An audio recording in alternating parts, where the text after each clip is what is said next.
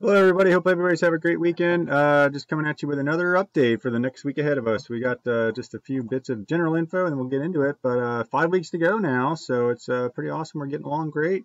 Um, five full, five full, five day weeks coming up ahead, uh, and that's kind of the big deal going on. So keep it up, keep working, keep working hard till the end, everybody. Uh, we do have a baseball project going on. Just want, I guess, update parents. Kids are doing a great job with it. it's more of a self-guided. Um, create your own baseball team, get as creative as you want with team name and designs and creating a stadium. The kids are having a lot of time, a lot of fun making like a 3D model of their stadium and things like that. Um, more of a self-guided kind of project we're doing is sort of a Halo Bell enrichment kind of thing. And I just really wanted to mention because kids are having a great time, even asking when do we get to do it next, when are we going to work on it again.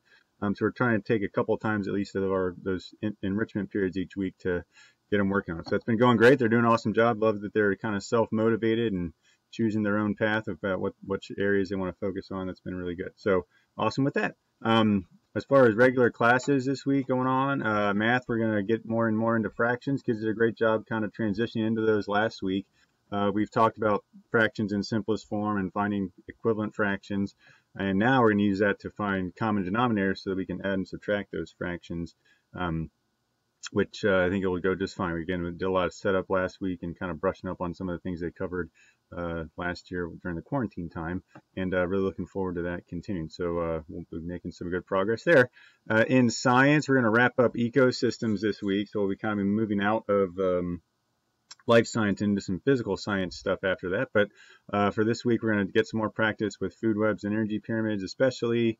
last week, we watched a documentary about Yellowstone National Park and some of the amazing wildlife there and how that fits into energy pyramids and food webs and the interactions that take place in the ecosystem.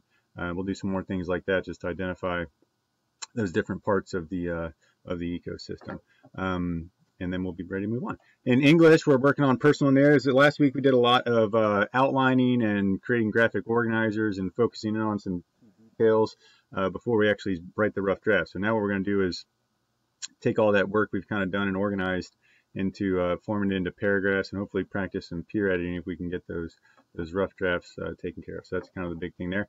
Uh, they're doing a good job working through that. Again, we're kind of slowing down through this one and just making sure we focus on those uh, you know basic things, pre-writing kind of stuff uh, before we eventually get to that final copy.